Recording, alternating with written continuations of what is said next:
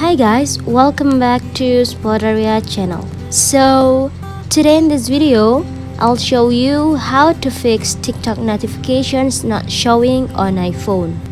TikTok's increasing popularity made this video making app one of the most downloaded on Google Play and the App Store.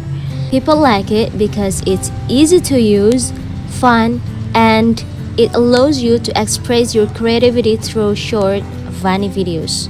Each time one of your video gets a new like or a comment, the app lets you know. But before you continue this video, I hope you like, comment, and subscribe to support this channel and don't forget to hit the notifications bell. So, without any further ado, let's get started. To start, let's make sure that your TikTok notifications are enabled.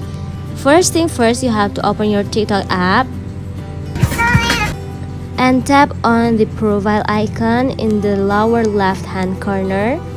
Tap on the three horizontal lines in the upper right hand corner. After that, you have to select push notifications. Then tap push notifications here and then in the settings you have to tap notifications again and toggle the allow notifications on here? And then you have to go back to the TikTok. If all notifications are on you want to check your phone's notifications.